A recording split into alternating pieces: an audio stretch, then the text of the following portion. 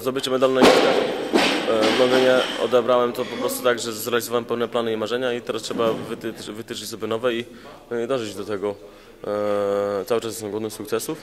Przysz, w tym roku mam Mistrzostwa Świata w Warszawie, które będą się w październiku.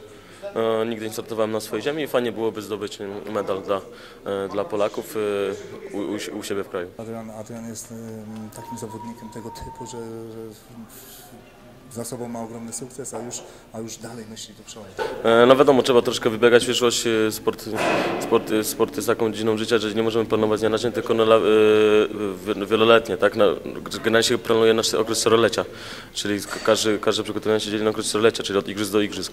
I tak to mniej więcej wygląda. Ja mniej więcej zacząłem odnosić sukcesy właśnie te juniorskie, Mistrzostwo Świata, Mistrzostwo Europy Juniorów, e, rok po zakończeniu Igrzysk Olimpijskich w Pekinie, także e, trzy lata, mm, było, przede mną były trzy lata i e, fajnie wszystko się potoczyło, zdrowie dopisało i e, zaowocowało to złotym medalem w Londynie.